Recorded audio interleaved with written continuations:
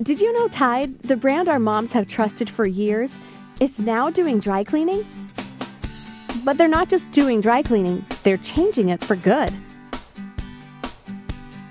Tide Dry Cleaners has everything from their bright and clean lobby and friendly staff that greet me by name, to the way my clothes come back perfectly pressed and looking great, and smelling great too, without that typical dry cleaning smell.